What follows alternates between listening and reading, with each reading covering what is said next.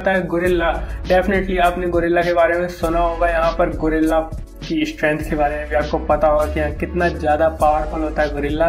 Gorilla एक normal average gorilla 1.75 meters तक लंबा हो सकता है, जो कि नॉर्मल अपनी हाइट होती है फाइव या साढ़े फीट यहाँ पर होती है हाइट और इनका वेट एवरेजली 200 हंड्रेड के लगभग होता है। लेकिन मैं आपको बता दूँ कि कितना वज़न लिफ्ट कर सकते हैं। तो ये अप टू टू टन वज़न लिफ्ट कर सकते हैं, जो कि यहाँ पर बहुत ज़्यादा होता है। टू टन से मतलब मेरा 2000 किलो है यहाँ पर। 2000 किलो तक का वज़न ये उठा सकते हैं। यानी कि अगर आप सोच सकते हैं कि इंसान 2000 किलो का वज़न उठाएगा तो कैसे उठा पाएगा? लेकिन कैसे भी नहीं उठा पाएगा। यहाँ पर गुरिल्ला मैं आपको बता दूँ कि इंसान से 15 से 20 गुना ज़्यादा ताकतवर होते हैं।